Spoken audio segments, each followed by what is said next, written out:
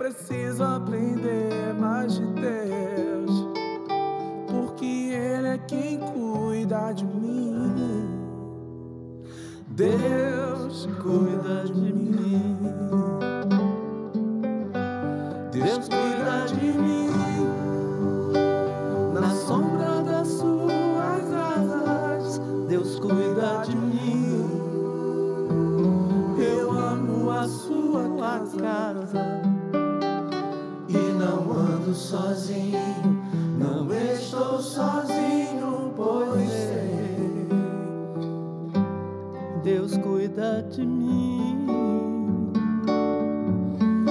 Cuida de mim na sombra, na sombra das suas asas. Deus cuida de mim. Eu amo a sua casa e não ando sozinho, não estou sozinho, pois sei. Deus cuida de mim. Que bom que você está comigo numa madrugada de oração, de encontro com a palavra de Deus, numa madrugada de serenidade, de calma, no meio de tanta turbulência que a gente vive ao longo do dia. De repente, parar um pouquinho, deixar Deus falar aos nossos corações. Que bom que você está comigo.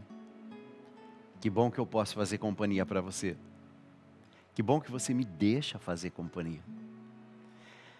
Eu, nesses dias, falei que a minha mãe, que inclusive fez aniversário nessa semana, foi a que me ensinou, diante de Nossa Senhora, a rezar, né? Muitos anos atrás eu fiz uma canção falando sobre isso. Não sei bem a razão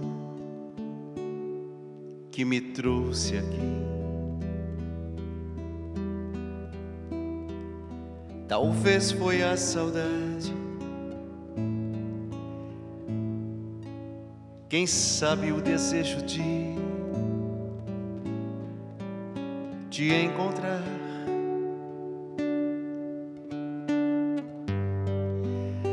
E lembrar daqueles tempos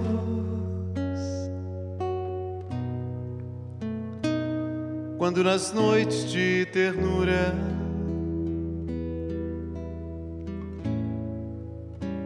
alguém unia as minhas mãos,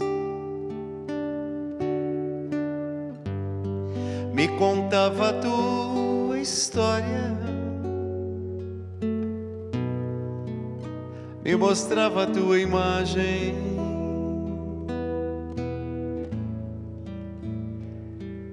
E um dia me ensinou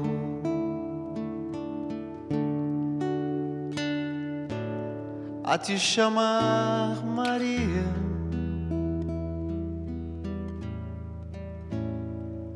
Ou simplesmente, simplesmente mãe. A te chamar Maria, ou simplesmente, simplesmente mãe.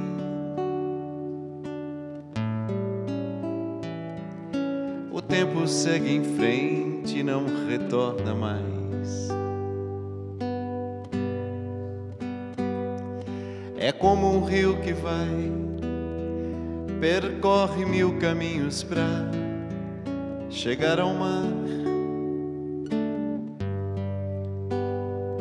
Nessa busca de infinito, venho conversar contigo. E sentir a tua paz. Te contar da minha vida.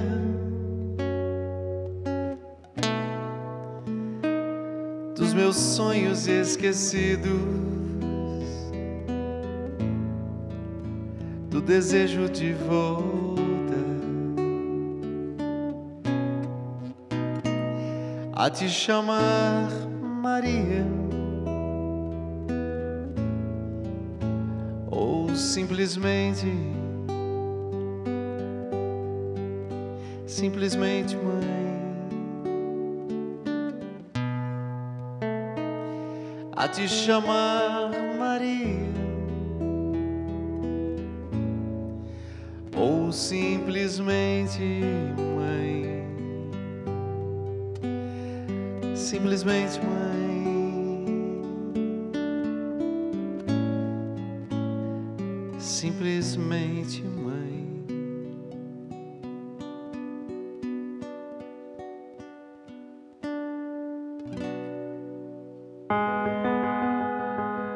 meu marido, ele teve uma doença chamada Gillian Barré.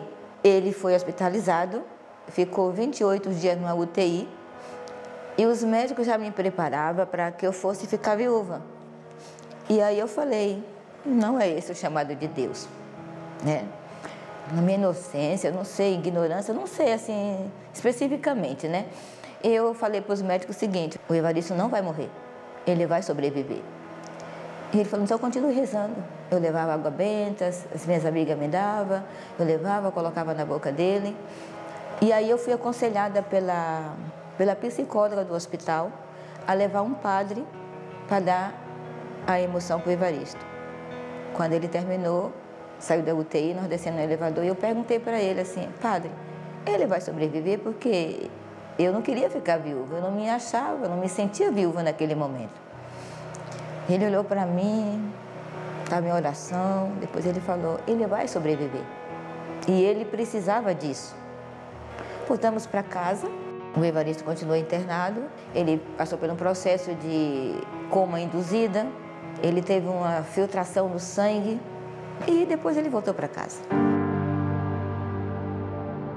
Da mesma forma que a doença entrou, a doença também saiu. O Evaristo está vivo hoje, fez 68 anos, dia 7 de outubro agora, assistindo os programas da Rede Vida, especialmente o programa do Dalcides, que é na madrugada, também no texto, tem das 18 horas, das 20 horas, quando eu posso, um desses horários eu assisto. Da Rede Vida assim, me trouxe uma expectativa muito grande assim, de graça, é, de bem-estar. Eu acredito que seja isso, de estar na presença de Jesus e de Maria. Eu tive um acidente no mês de abril. Vindo trabalhar aqui na Barra Funda como diarista, só machuquei a perna. E eu fiquei, começou diabética, ficou muitos dias sem cicatrizar. E recentemente apareceu nessa mesma perna, apareceu a erisipela. Teve um dia que ele estava fazendo oração com uma pessoa e perguntou: Você que está aí, enferma, põe a mão na sua enfermidade e se sinta que Nossa Senhora está te curando. E naquela hora eu fechei meus olhos e pedi. E ele pediu com tanta fé. Ele pediu por mais pessoas que tinham pedido oração e pediu: você que está em casa, você põe a mão onde está na sua enfermidade e peça a Nossa Senhora que ela esteja curando. E aí eu senti que aos pouquinhos a minha perna foi recuperando. Lógico que eu usei outros métodos, remédio e tudo, mas eu senti assim a força do Espírito Santo me, me curando.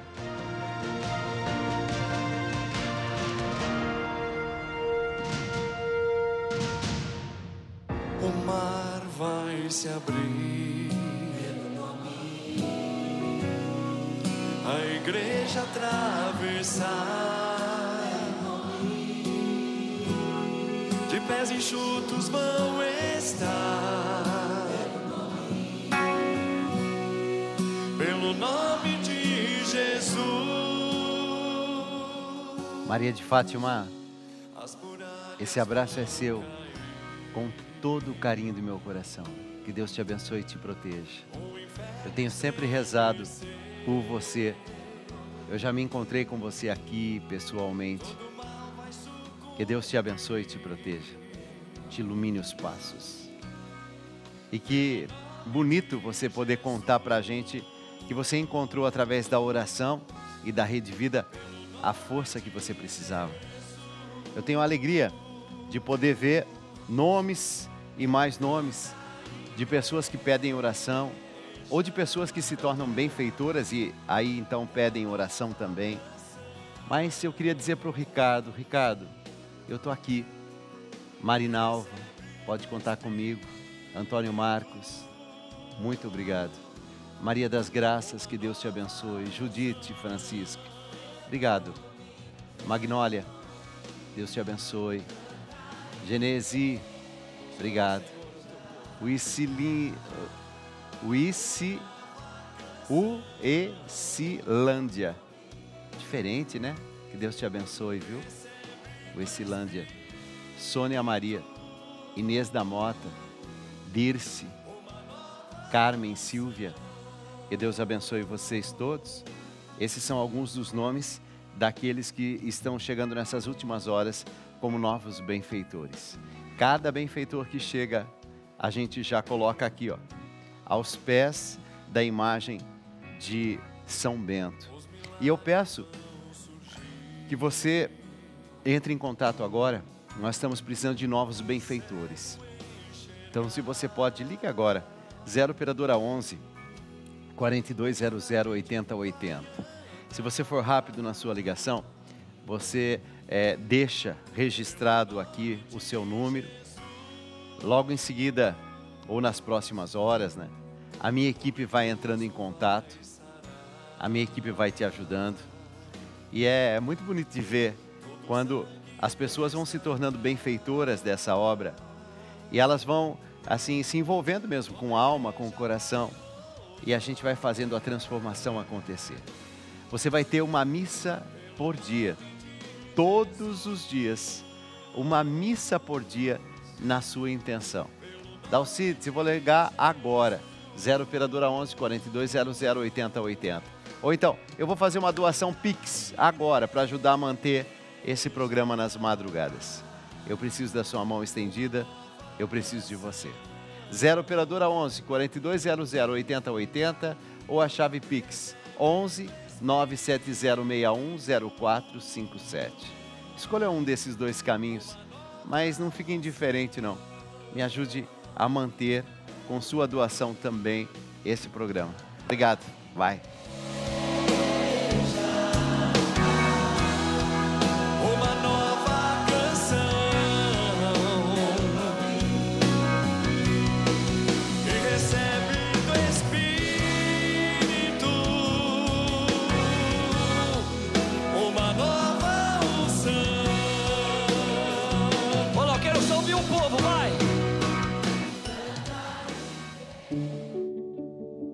Quando a fé e o humor se encontraram no Vaticano, o resultado foi de bons risos e orações. Papa Francisco recebeu em audiência no dia 14 de junho, na Sala Clementina, cerca de 200 humoristas do mundo todo. Entre os presentes estavam brasileiros, como Fábio Porchat e Cacau Protásio. A atriz e comediante americana Whoopi Goldberg também participou do encontro organizado pelo Dicastério para a Cultura e a Educação, que tem o objetivo de aproximar a Igreja das artes e celebrar a importância do humor na vida de todos. Tenho grande estima por vocês, artistas, que se expressam com a linguagem da comédia, do humorismo e da ironia. Vocês têm o dom de fazer as pessoas rirem em meio a tantas notícias sombrias, espalhando serenidade e sorrisos. À sua maneira, vocês unem as pessoas, porque o riso é contagioso. É mais fácil rir juntos do que sozinhos. A alegria permite o compartilhamento e é o melhor antídoto contra o egoísmo e o individualismo, afirmou o Papa. Ele ainda mencionou que o riso ajuda a quebrar barreiras sociais e a criar conexões entre as pessoas. Lembrem-se disto. Quando vocês conseguirem fazer com que sorrisos inteligentes brotem dos lábios de até mesmo um só espectador, vocês também fazem Deus sorrir, afirmou o Papa.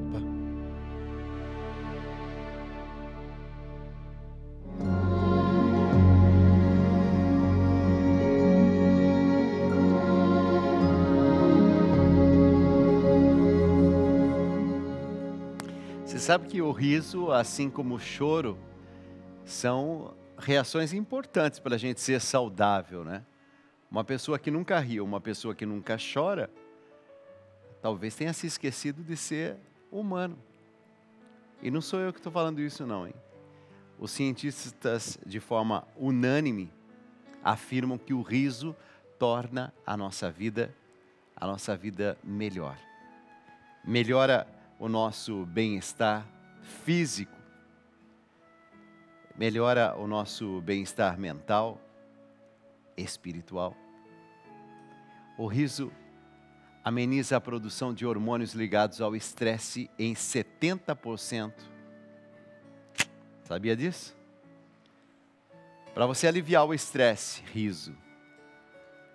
Ao mesmo tempo, aumenta em 27% o nível de certos hormônios que podem ter efeito curativo na depressão. Por isso que o famoso médico americano Pat Adams, pai da terapia do palhaço, né, dizia que a saúde se baseia na felicidade. Tem um filósofo chamado Hipócrates, e é considerado o pai da medicina. Ele escreveu no ano de 370 a.C. O bom humor é equivalente a um elixir de longa vida. É claro que rir não vai fazer com que os nossos problemas desapareçam, mas ajuda a relaxar a cabeça, né? ajuda a relaxar o corpo, para encontrar muitas vezes a solução de uma forma acertada. Charlie Chaplin, que também é conhecido pelo riso, né? pelas coisas engraçadas que costumava fazer, para rir de verdade, você deve ser capaz de suportar sua dor e brincar com ela, dizia ele. Você sabe que até mesmo santos, né, tinham um bom humor. Santa Teresa d'Ávila certa vez levou um tombo e disse a Deus: Se é assim que você trata seus amigos, não é de admirar que você tenha tão poucos deles.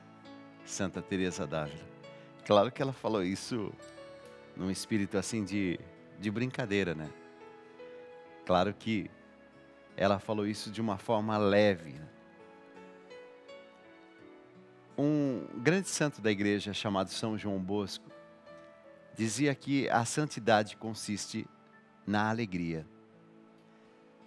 Eu, quando conheci esse santo, lendo, né, estudando, uma coisa me chamou muito a atenção. A simplicidade dele de se alegrar com as coisas do dia a dia. São João Bosco, ou Dom Bosco, como era conhecido, nasceu em 1815. Ele não teve pai. Ou melhor, o pai dele morreu muito cedo. Mas ele diz assim: a primeira lembrança que eu tenho é minha mãe chorando e dizendo: Você não terá mais pai. Seu pai partiu foi para os céus. E ele falou: aquilo me impactou tanto, eu era muito novo, muito criança. Mas eu passei a vida tentando ser um bom pai, como padre, como sacerdote, para aqueles jovens que não tinham a alegria de ter um bom pai. Aquilo me impressionou tanto. E ele costumava dizer assim: a santidade consiste na alegria. E ele era leve e trazia diversão para aquelas crianças, para aqueles jovens. E procurava viver de uma forma leve. Tanto assim que ele ensinava os seus meninos que que o amor que a gente coloca nas coisas é o que faz com que a vida da gente vale a pena.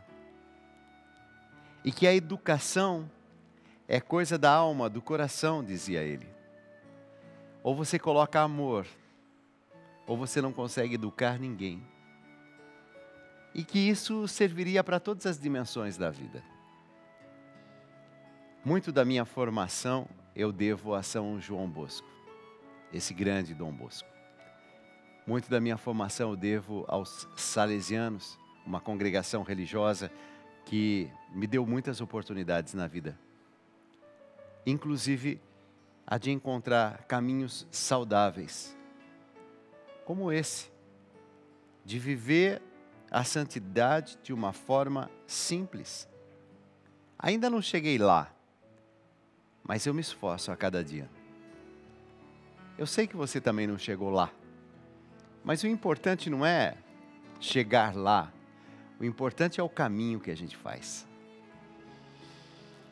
Que o programa de hoje traga boas inspirações e te ajude a dar passos, a amadurecer,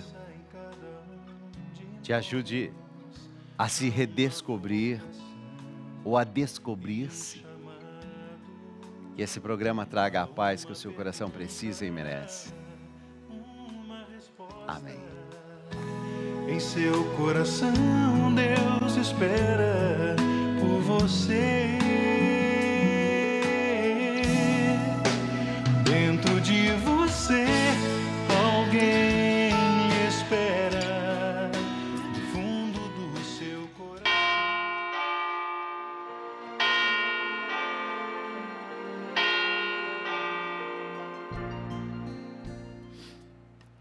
Esse é sempre o momento de nos colocarmos em oração, pedindo de forma especial a Nossa Senhora bênçãos, graças dos céus, ela que é uma intercessora, pede à mãe que o filho atende, pedindo bênçãos e graças nesse mês de forma especial a São Bento, que todo mal se afaste.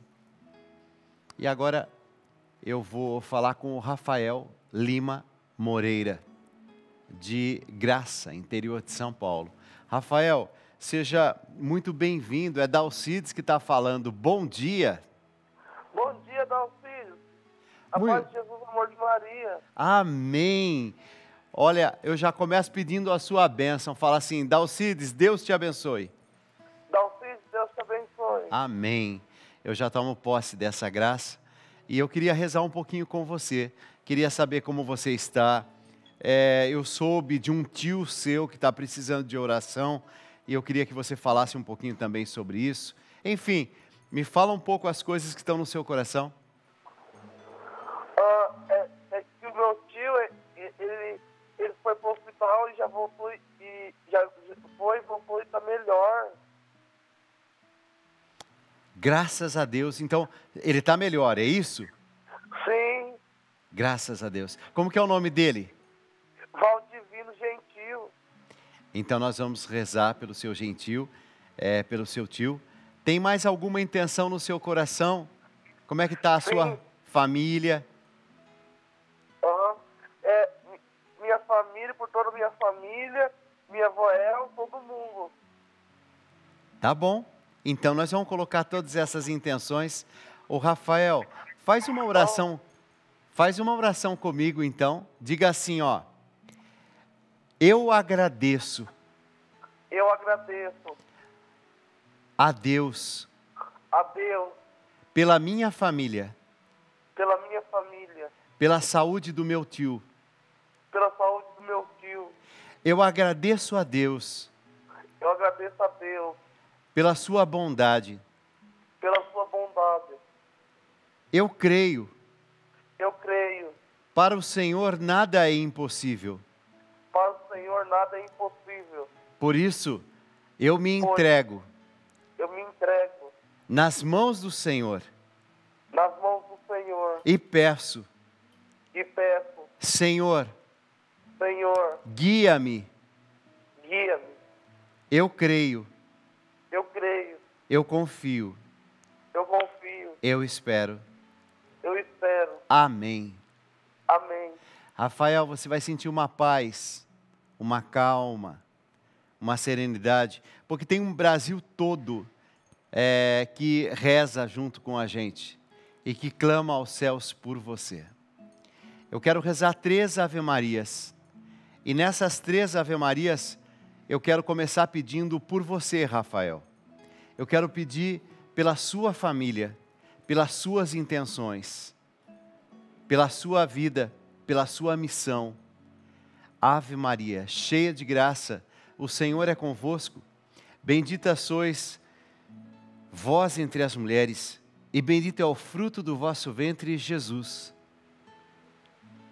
Santa Maria, Mãe de Deus, rogai por nós, pecadores, agora e na hora de nossa morte. Amém.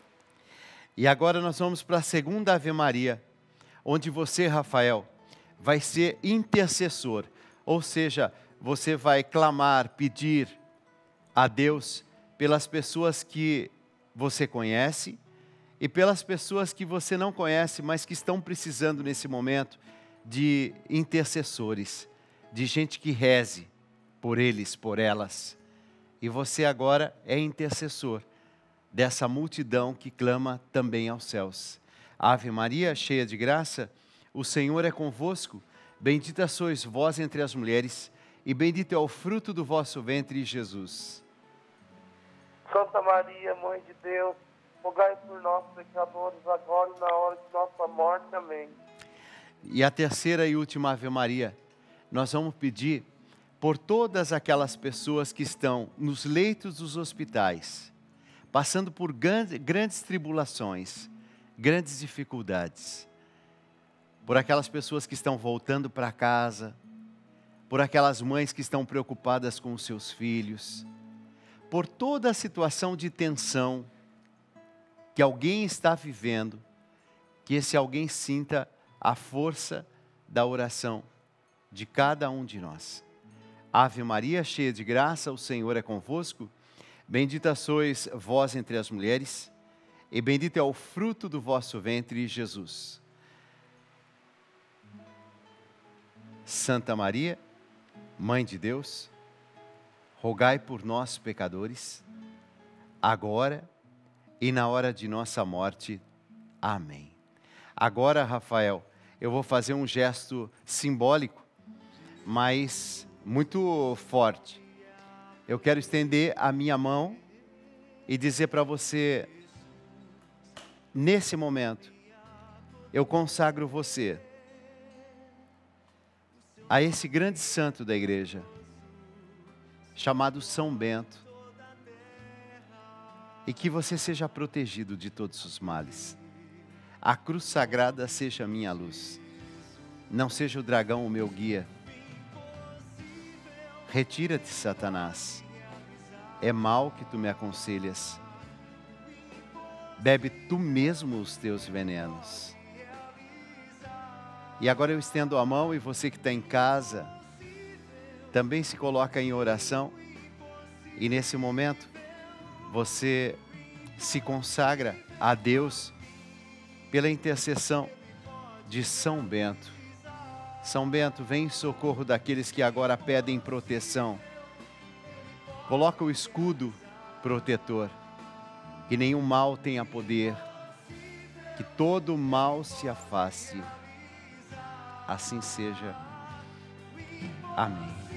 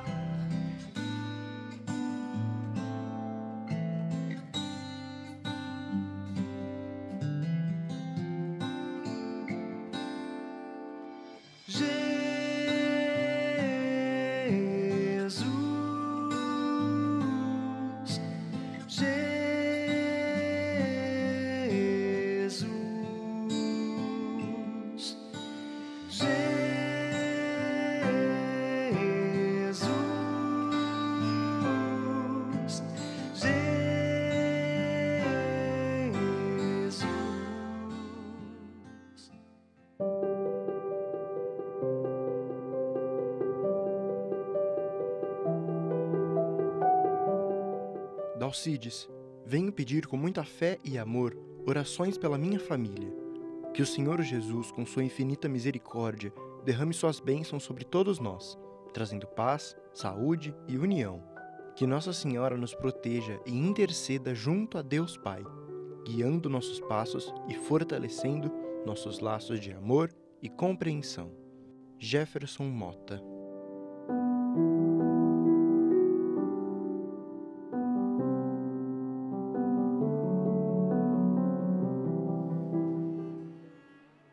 Jefferson, me veio ao coração de ler para você um pequeno texto da palavra de Deus do segundo livro dos Reis. E diz assim: Por esse tempo, o rei Ezequias ficou doente e quase morreu. O profeta Isaías, filho de Amós, foi visitar o rei Ezequias e disse: O Senhor Deus diz: ponha suas coisas em ordem, porque você não vai sarar, e apronte-se para morrer. Então, Ezequias virou o rosto para a parede e orou assim: Ó Senhor Deus, lembra que eu tenho te servido com fidelidade e com todo o coração. E sempre fiz aquilo que eu queria, que o Senhor queria que eu fizesse. E chorou amargamente. Isaías saiu do quarto em que o rei estava, mas antes que tivesse passado pelo pátio central do palácio, o Senhor Deus lhe disse: Volte e diga o seguinte ao rei Ezequias, o governador do meu povo: Eu, Senhor, o Deus do seu antepassado Davi, escutei a sua oração, vi as suas lágrimas. Eu vou curá-lo e daqui a três dias você irá até o templo. Eu vou deixar que você viva mais 15 anos. Gente, esse texto da palavra de Deus está dizendo para mim e para você uma coisa forte. O mesmo Deus que havia enviado Isaías para profetizar, para anunciar ao rei Ezequias que não tinha mais jeito, mudou a sua forma de olhar a situação de intervir na situação?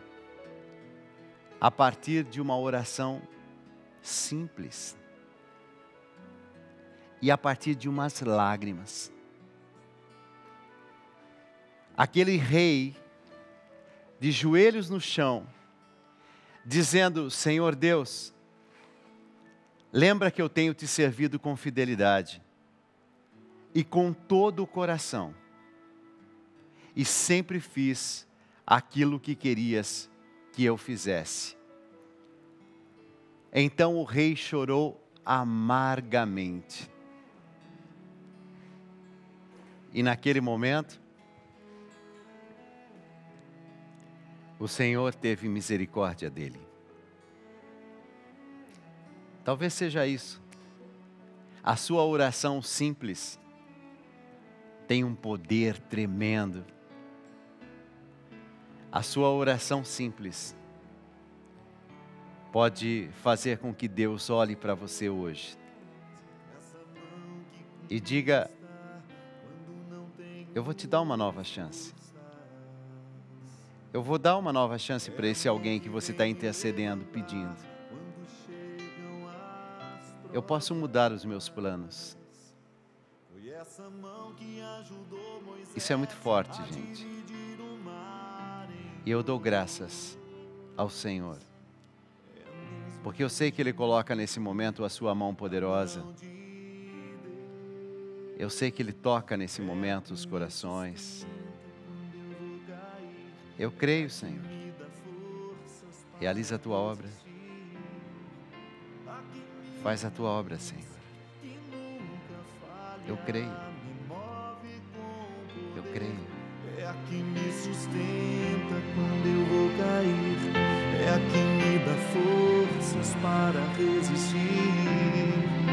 A que me alcança, que nunca falha.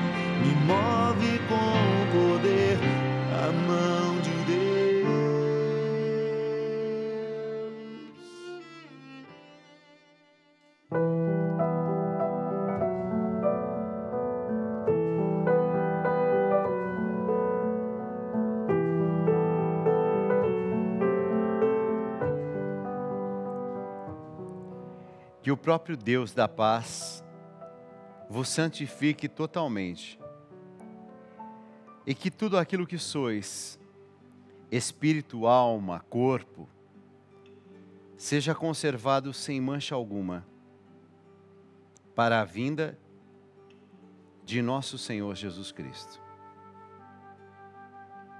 Deixai agora vosso servo ir em paz, conforme prometestes, ó Senhor. Pois meus olhos viram a vossa salvação, que preparastes ante a face das nações, uma luz que brilhará para os gentios e para a glória de Israel, vosso povo. Glória ao Pai, ao Filho e ao Espírito Santo como era no princípio, agora e sempre. Amém. Senhor nosso Deus, após as fadigas de hoje, restaurai nossas energias por um sono tranquilo, a fim de que, por vós renovados, nos dediquemos de corpo e alma ao vosso serviço. Por Cristo, nosso Senhor. Amém. Que o Senhor Todo-Poderoso nos conceda uma noite tranquila e no fim da vida, uma morte serena. Em nome do Pai, do Filho e do Espírito Santo. Amém. Fique na paz. Deus abençoe você. Eu aqui pela Rede Vida, 11 horas da manhã, no Escolhas da Vida, 4 e 15 da tarde, esperando você. Eu estou aqui pela Rede Vida todos os dias, meia-noite e quarenta, no Conta Comigo. E às terças-feiras, oito e meia da noite, no meu novo programa Viva a Vida. Mas eu espero você também no domingo à tarde. Domingo, duas e meia da tarde, Viva a Vida, um programa de música especial. E eu quero sua companhia. Obrigado por tudo. Deus abençoe você. Tchau. Não estou sozinho, pois. Deus cuida de mim.